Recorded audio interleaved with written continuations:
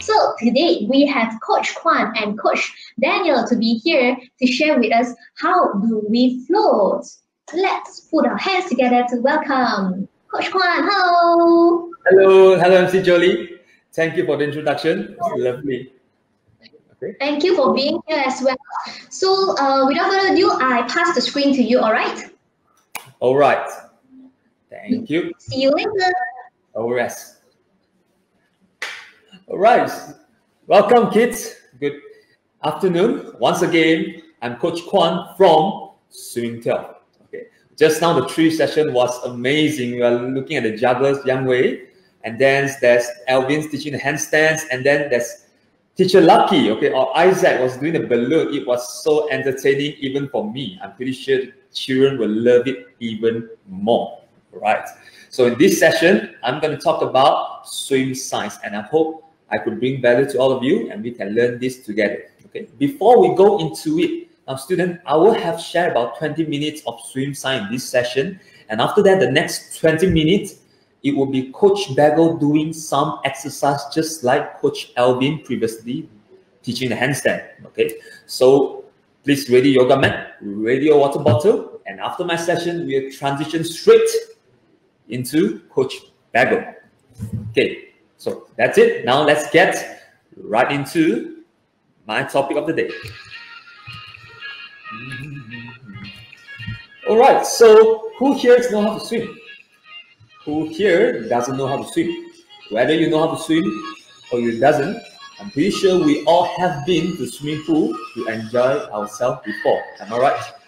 And we have at least tried to float on our back. And this is what we're going to talk about today. Comment below, share with me what are the ways that you do to float on your back. Okay. So what other ways that you do, please let me know so that we could talk about it. Next. So in my session, in my session here, there are three phases, three parts. We're going to talk about swimming. We are going to talk about science and how swim science related to our everyday life. How does it apply to our everyday life? Now, let's get right into the science part. Now, as a coach, when I teach, there are three elements I look into my student to make sure that they can do a beautiful floating. Okay, so one of it is to check the position, how your head, how your hips position could affect your floating. The next one, how movement, how moving your hands and the legs could help you to move around. And last but not least, it's the air. How by breathing in the air, controlling the amount of air you're able to keep yourself floating. And yes, Shamina Kashmir, yes, seems like you can swim a bit. That's awesome. All right. And hello, Coach eh, Kwa, hello, Gogo Kids and Mani. So right now, for the topic of today, we're gonna go deep, deep into the air part. How air could makes us float or sink. Okay, if you're ready, let's get right into it. So right now, students, let us all imagine that, we not imagine, we, we have our lungs here right beneath our chest. Okay, now let's imagine your chest is like two big balloons. It's like two big balloons here. Okay, and it begins with resting point. Now, student, if you are ready, if you are there behind the screen, let's do this together with me. Put both your hands on your chest. Put it both on your chest. Now, do it together with me. Take a deep breath. You can feel that your chest is expanding. All right. Now, exhale. Feel your chest sinking. One more time. Take a deep breath. Breathe in. Feel your chest, your lungs. The balloon is expanding. Breathe out. The lungs are shrinking, the balloon is shrinking, and one last time. Take a deep breath. Fill it out in. Right? Okay. And so right now, I would like all of us students here, or your parents imagine your lungs is like two big balloons. Nice. Hi, Amanda, Kaya, Kaya, thank you, thank you. And this is the more specific versions of how your lungs looks like when you breathe in. When you take a deep breath, your lungs expand outward and downward. Okay. And when you exhale, your lungs shrink inward and upwards. Now, all of us know, all of us here knows that when you put a balloon in the pool or on top of the water, it floats. It floats. Now, let's further imagine the next step. All right. Imagine right now the balloon is tied to a small weight. Kind of represent your body. Okay. And even though, even though it's tied to a weight, more air, the balloon still can float. And if and if the balloon is empty of less air, it will sink. It will sink. Nice. Okay. Good. Now, next one.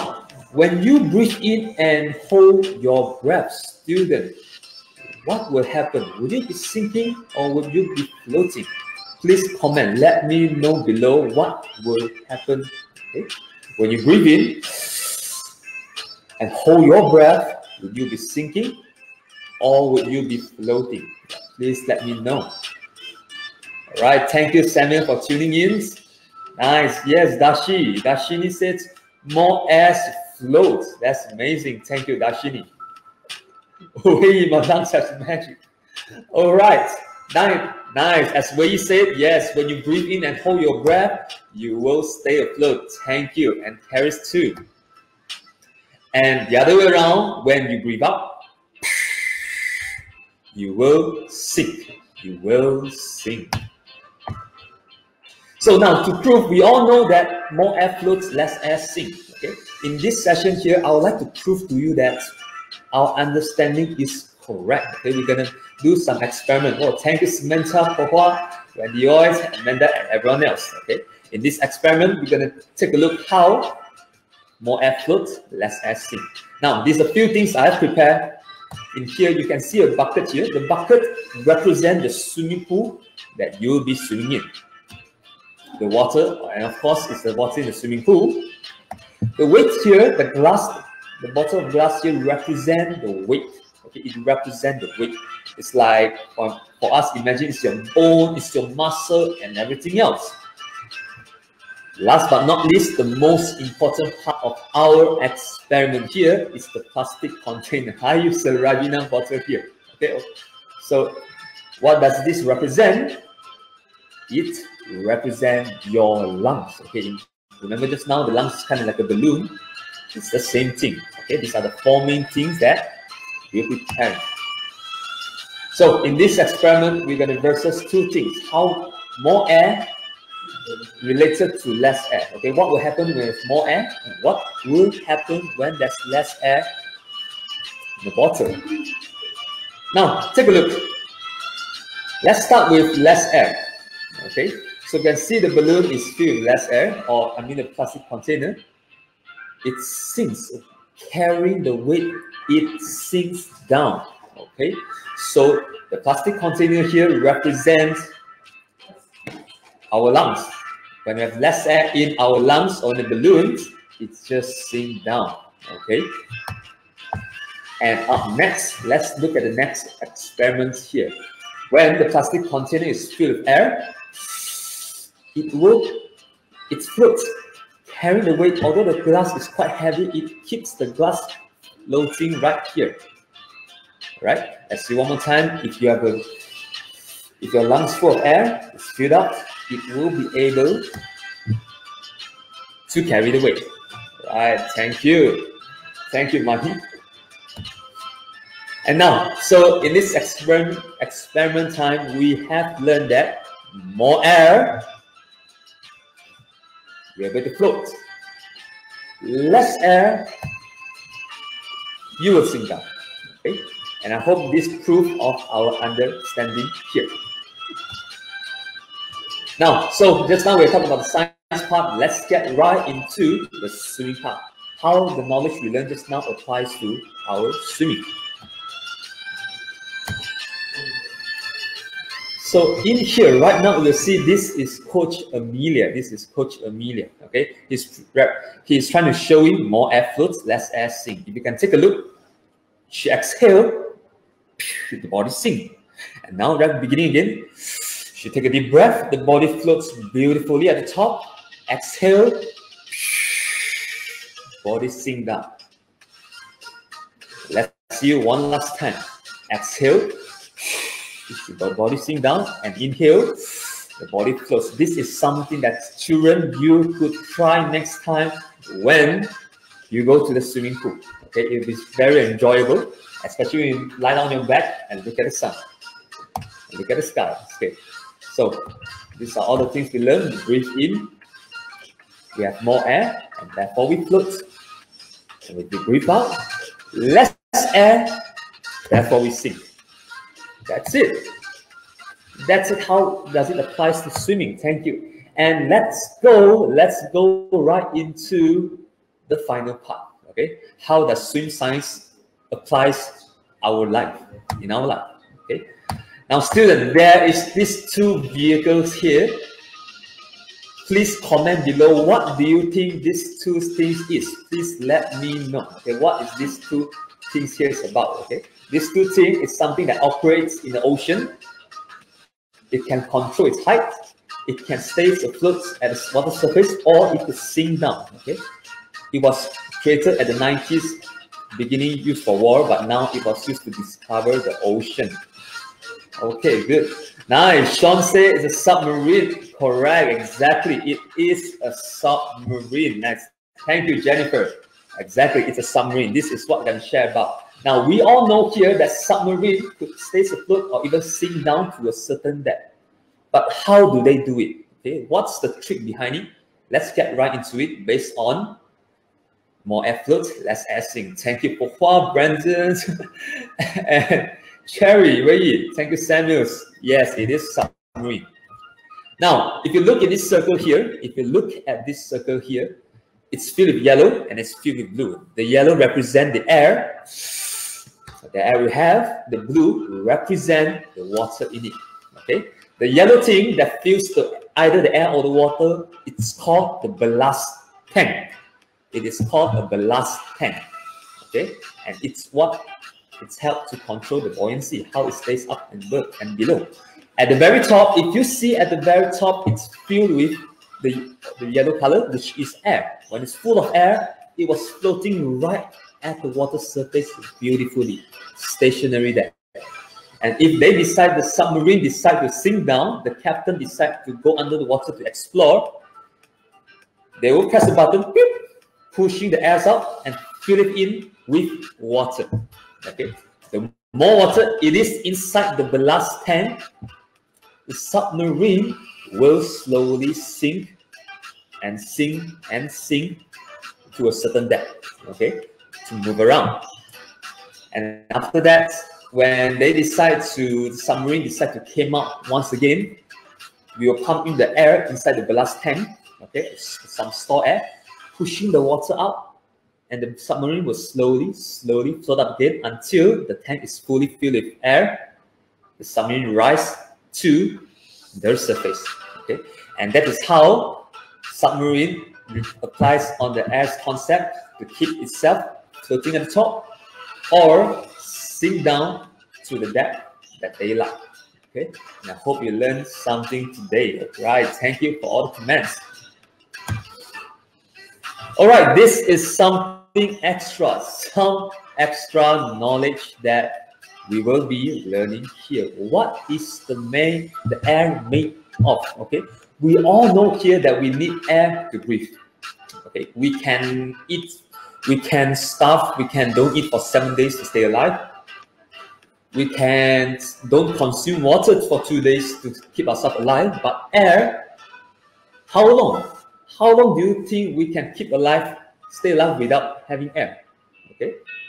So please let me know how long we can stay alive without having air.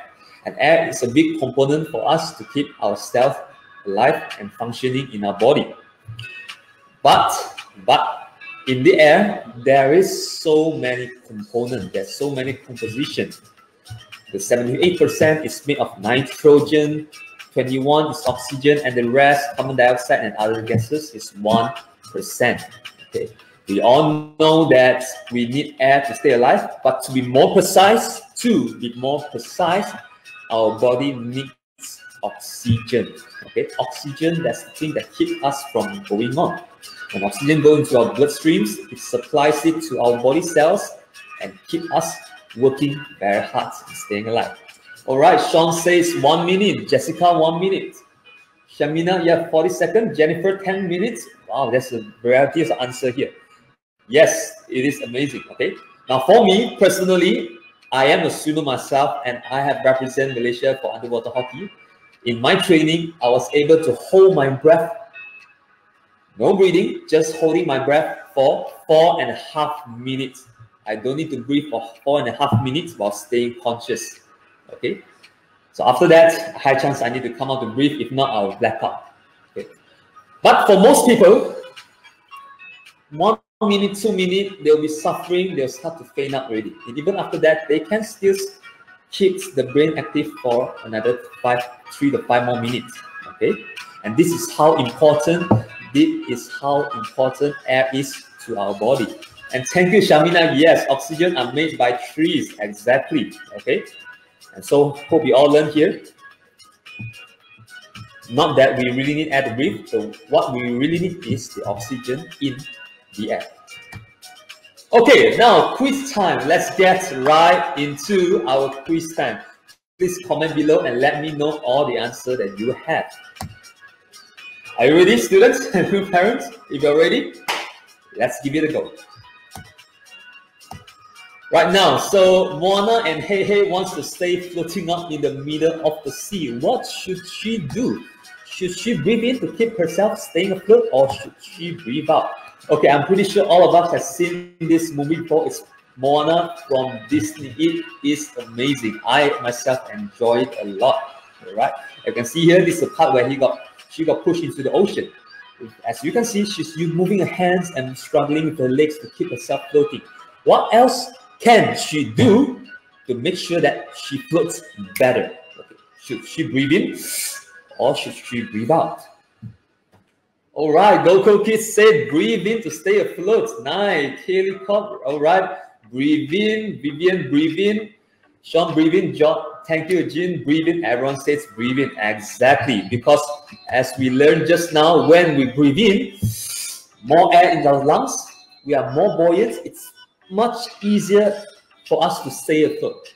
Just by breathing in and hold our breath, we can stay afloat for the next one, two hours if you wish. That's it. And the last part, help explain to me, help share me again, how does the submarine control its height? How does the submarine stays at the surface of the ocean? And how does the submarine decides to go deep into the ocean? Okay, what does the captain do? What the captain need to do to make sure the submarine floats or sink or venture down to the depth of the ocean? Okay, please let me know. All right, Elise, thank you. Yes, Wendy, breathing in for the, for the Moana. Thank you so much. Air. Okay, Jessica states air. Yes, the submarine depends on the air to keep itself floating or sinking. Exactly. Nice. That was so specific, Darshini. That's amazing. Yes. The ballast tank.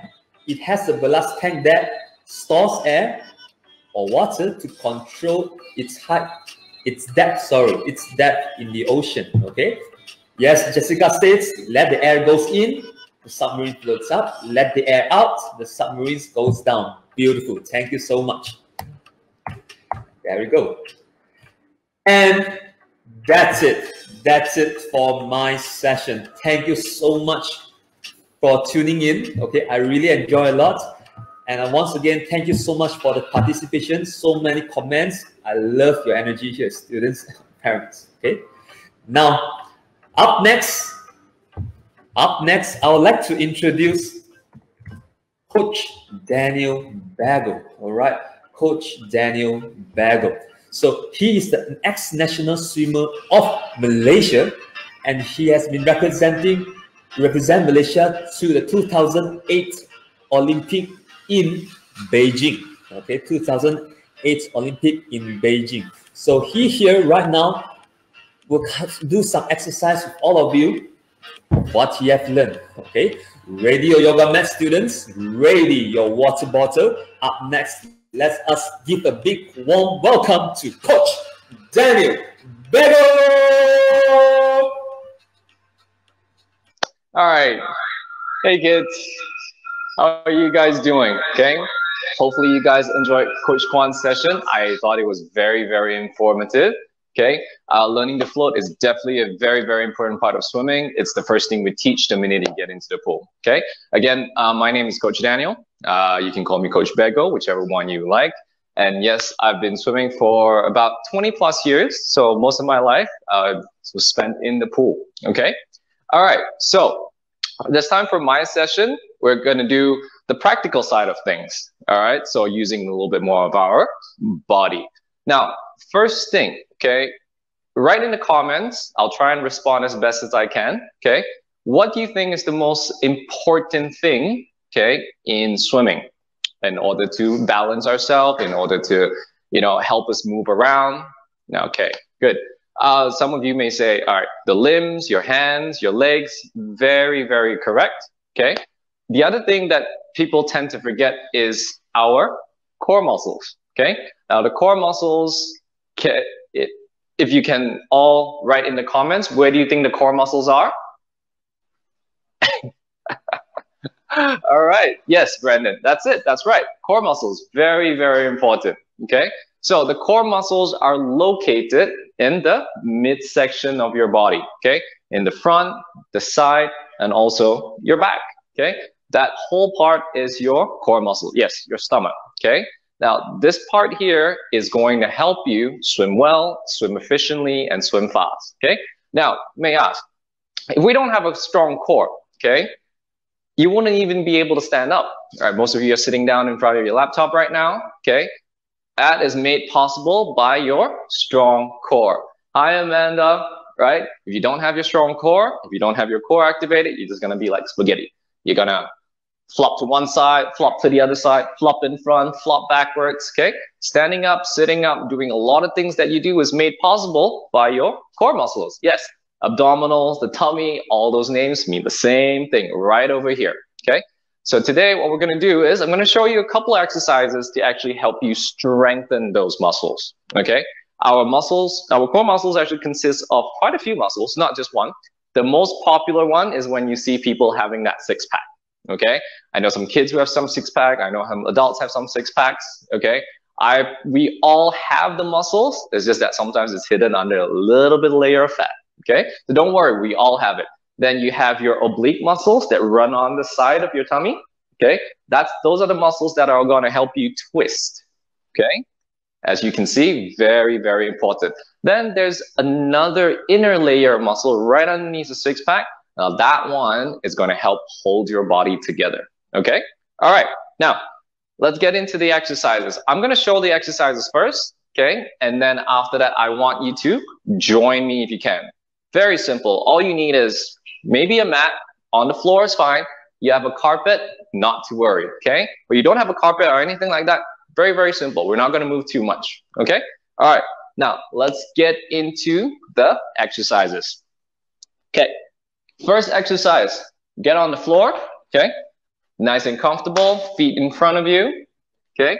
All right, now this position if you're a gymnast or if you had any gymnastic training, okay, you'll be familiar with this. It is called the hollow hold position, all right? Now, I'm going to show you the easiest version of it first, and then we're going to move up in difficulty till it gets to the hardest one, okay? So first one, you're just going to lie back, okay? Place your hands by your side, okay?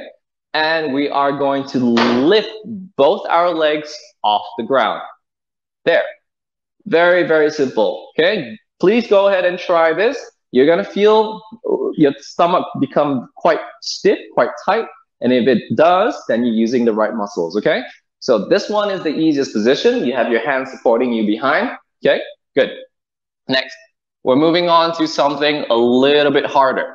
This time, we're gonna take our hands off the ground, okay? So no more using our hands to support. Very easy, okay? So this is considered level two. Now, level two, hands off the ground. Okay? All right. Now it's to be a little bit harder. So try not to swing back and forth. Okay? Try and hold it really, really still because in swimming, we want our body, our torso, our core to be nice and strong and we want our body to be nice and still. Okay, good. Now, Third level, okay? We're gonna bring this up another notch. This one, you're gonna have your hands directly above you, pointing to the ceiling, okay? So, first level, here. Second level, third level, okay? You can have your hands up here. Now, this is gonna add extra weight to your upper body, so you're gonna have to work extra hard, okay, to keep that tum tummy nice and tight, okay? All right, good. Now we are going into level four. All right. So this one for me, I would consider is the hardest one. We're going to use something called the streamline position in swimming. Okay. Streamline means we want to be able to make our body as small as possible so that we can move forward in the water with as little drag as possible. Okay.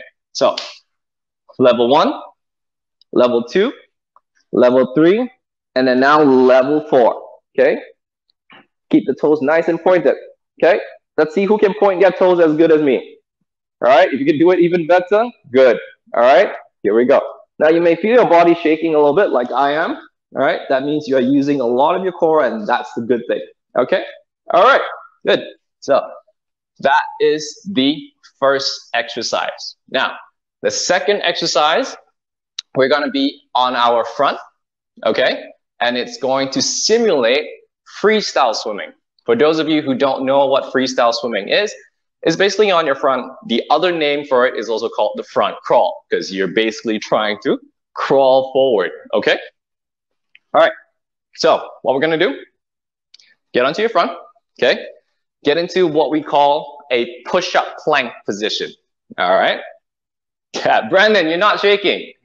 Good. Very, very good. Okay. So if you're strong, you won't be able to shake. Okay. All right, next one. We are moving on. Like I said, on a push-up plank position, okay? Knees off the ground. I'm gonna turn to the side a little bit, okay? That's the position we wanna be in. Cool, all right, okay. Now, from here, you wanna make it a little bit easier. Open your legs slightly wider, okay? That's gonna help you balance a little bit more, all right? Now, what we're gonna do, like I said, we're gonna simulate the stroke of freestyle. What you're gonna do, you're gonna take one hand off, Go one big circle, come back down. Okay, next one, next arm, and down. Okay, up and all the way down. Up and all the way down. Okay, so as you can see, that will actually give you a free simulation of the freestyle stroke. Very, very simple, right? Okay, next one. Now, we're gonna work on our legs a little bit this time. Okay, still gonna be working our core, but we're going to include the legs. All right. Okay. The easiest thing about this is we're going to go back to, yes, high elbow freestyle. Somebody said in the comments, high elbow freestyle. I like that. Okay. That's excellent. We'll talk about high elbow freestyle in a little bit, maybe, if I have a little bit more time. For now, I'm just going to show you this one. This one's called the flutter kick. Okay. Simple.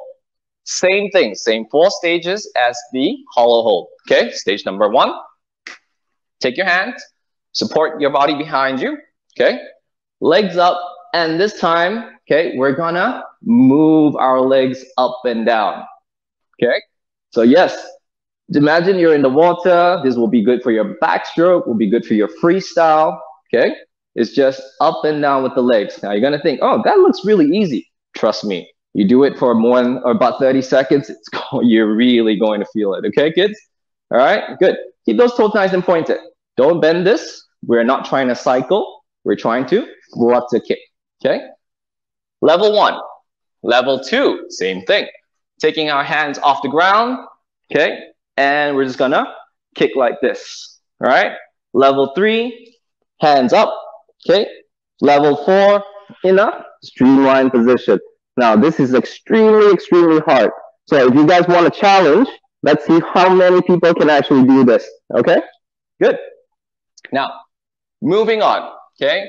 We're going to our fourth exercise. Okay. So we're going to our front again. This time we're going to lie flat on the ground, facing forward. Okay? All right. Down. Now, from here, okay, we're just going to lift our body off, lift our chest off the ground, lift our legs, It's okay. If you're a little bit tired, go ahead and rest a little bit. If you want to challenge yourself, keep up with me. Okay? All right, so from here, we're going to put our hands forward. There. This is what we call the Superman hold position. All right? Because, right, look, I'm just like Superman flying in the air. Okay? Remember, don't let your legs touch the ground. As much as you can, bring your thighs off the ground. Okay? Hands forward. All right? That wasn't too bad, right? okay. Uh, don't worry if you're tired again, all right? Just take a little break. We can always continue again. Now we're to add a slight variation to the hollow hold position, okay? This one is going to simulate butterfly swimming. Now, butterfly swimming is considered the hardest stroke, okay? Because you have to get your whole body out of the water. You have to get both your hands out of the water, okay? And that's why it's considered quite hard. It is usually the last stroke we teach kids, okay? But no harm. Now, the thing is, the good thing is being uh, to do it on land, we can do it a lot easier, okay? So we're gonna get into the hollow hold position again, right here, Superman, uh, sorry, Superman hold, okay? And then now we are going to move our hands all the way back, right here. We're going to squeeze your shoulder blades together, okay? And then we're going to go all the way front again all the way back, right? All the way front. This is going to help you with your butterfly so much when you get back to the pool, okay? All right, good. So now I've shown those four exercises. I am going to do something. Thank you. Thank you, uh, Ding Xiu Ting. All right. Thank you so much. Okay. All right. Now we are going to go into what I usually do uh, we call it circuit training. Okay, those of you haven't heard, we're going to do one exercise, we're going to rest, do another exercise, and then rest, and then so on. Okay, now this way we can actually exercise, have a little bit of rest, and still develop all those muscles that we talked about just now, especially our core. Okay, now if you can, all you kids, all the adults, all the moms and dads, okay, we're gonna stop typing a little bit. We're gonna go a little bit of exercise session. So what are you gonna do? Get down on the ground, on your mat, on your carpet, anything. Okay, this is what we're gonna do. We're gonna go 30 seconds on, that means 30 seconds of the exercise, and 30 seconds off, that means 30 seconds of rest. Okay, we're gonna start from the first exercise all the way to the fourth exercise. Okay, now, again, I showed you different levels of difficulty just now. Do the one that suits you the best. Okay, all right, here we go. Okay, I'm gonna have a little bit of music playing, all right? So at the same time, we can hype ourselves up, follow the music, okay? I'm also gonna turn on my watch.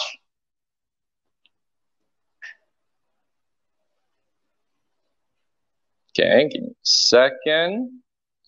Okay, here we go. So, 30 seconds, okay? Five, four, three, two, one, and let's go. Okay, first exercise, the hollow hold easy, level two, level three, and level four. Now let's see how many people can hold it in level four for 30 seconds. Okay, hold it, hold it. Good. Hopefully all of you can actually do this. And 30 seconds. See, that was pretty easy, right? Okay, all right. So moving on, we're moving on to the front crawl uh, push-up plank. Got 20 seconds rest. Okay? Oh, this is going to be exciting. Want to see who can keep up with me? Okay? If you can keep up with me, keep write it in the comments when you are done with the set. Five seconds to go. Two, one, on your hands, on your feet, and go. So remember, keeping your body nice and straight. Okay? Try not to deviate too much. Look at my body, it's nice and straight. Okay, all the way down, all the way down, all the way around. Okay, keep going. Remember, you're swimming freestyle, last 10 seconds. Okay, good job. Last two seconds, and rest. Good. Okay, now moving on to the third exercise. In the hollow hold position, but we are going to do flutter kick. Okay, so easy, good. You have it easy, we can do a little bit more, not a problem. Okay, 15 seconds to go. All right, come on, let's challenge. Let's see who can go in level four of this exercise and do it for the whole 30 seconds, okay? Two, one, and let's go. Legs up, streamline position, and kick. Okay, flutter kick, flutter kick. Move those legs. Okay, let's see who can point their toes better. All right, in order to swim well, you're gonna have to have flexible ankles. Keep those toes pointed. We've got 15 seconds to go. Okay, keep moving, keep moving. Core nice and tight. If you wanna lightly tap your tummy, you're gonna hear a very, like a hearty sound, okay? That. And rest. Okay, good. Now, back to the fourth exercise, okay? Remember, we're gonna do a Superman hold, but with the variation for our butterfly technique. 15 seconds of rest to go. All right. Now, I do understand there's a little bit of a lag, so if I don't respond to you straight away, hopefully you'll understand, okay? All right, five seconds. Two, one, and go. Okay, here we go. Superman hold.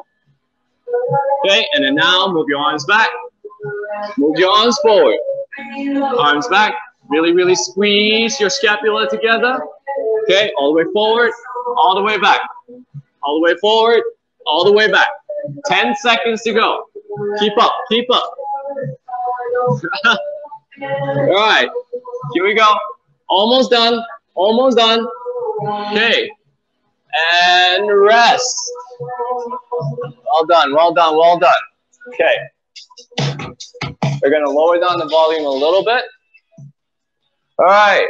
How was that, everybody? Okay. Some people say that you can keep up. I like that. That was really, really good. Okay. Now, it may not easy be easy for a beginner. Okay. That will actually help you get a really, really good head start from the when the pool opens That's Darshini, okay? You're gonna feel it in your core a lot. That's why we do this, okay? So now going back to what I made, uh, the comments I made about keep having a core strong when you're swimming, okay? Is now imagine uh, like what Coach Kwan said just now, a submarine, okay? I don't think anybody has seen a um, gummy submarine or a spaghetti submarine, okay? you gotta keep it a little bit stronger, okay? So in order for our body to move forward straight and fast in the water, we have to keep this part strong, okay? All right, now, I think that's it, guys, okay? It was really, really good. Now, I'm sweating. I don't know about you guys. I got a good workout there, okay? All right, now, at the end here, I just want to wish everybody a good day. Thank you for tuning in. Don't worry. If you can't do it, I see some comments saying they're not able to do it. Keep going. Keep trying. That's the thing. Okay. You keep doing it. You're going to be able to succeed one day. Okay. So at the end here, I just want to thank everybody. Thank Gogo Kids, um, Swimin12 for having me and things like that. Okay. I, okay. All right. And also wishing all our Muslim friends a very happy Hari Raya. Okay. And thank you. Hi, Coach Bego and Coach Kwan. Welcome back again. Thank you so much for your sharing through the theory as well as teaching us on the movements. I think I have learned and hopefully I can perform better when I go back to the pool. Thank you. So is there anything else that you would like to share with us? before we say bye-bye to all the audience over here? I think it's amazing. It was a really fun session. I'm pretty sure Coach Bego and I enjoy a lot. So much interaction here. That was amazing. If you do have the chance, I would like to meet all the, we would like to meet all the students again in our following session, right? That would be really amazing. Yes. And yes, of course, definitely. And then we got so many comments saying that, right, oh, you right. guys are good teacher, you guys are good teacher. That Fantastic. Thank you. Thank you. And Coach Bego, is there anything else that you would like to share? Um, I just want to say, for those of you who are having trouble with the exercises, keep at it. Opens, you're going to have a head. Okay. All right. Sorry, uh, Coach Bag, Coach Bego. We actually missed the last part because of the the mic. So maybe you can repeat one more time so that all the kids could catch you. All right. Sure. Okay. so Sorry, not a problem.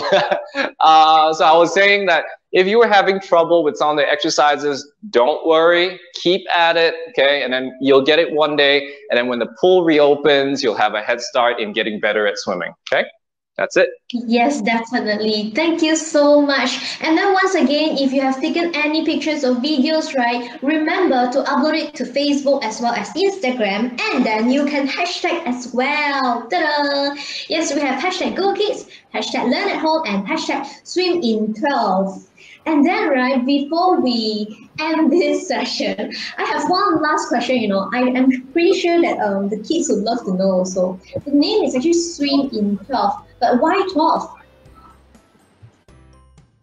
All right, so 12, 12 here represent the hour, okay? We are famous for teaching kids with water phobics or fear of water, and we're famous for delivering the result within 12 hours. If within 12 hours, your kid still does not know how to swim yet, we will keep teaching on. Okay, depends on the program that you oh, teach, right? And that's what we Oh, are that's fantastic. What we're doing. Yes, I've yes. been spending like um 12 years and I'm not I am still not good at swimming. so hopefully I can learn it better over here. Thank you so much. Thank you, Coach Juan, and thank you, uh, Coach Bego. We hope to see you soon. Thank you. And everyone Thank you for joining. Thank you. Bye.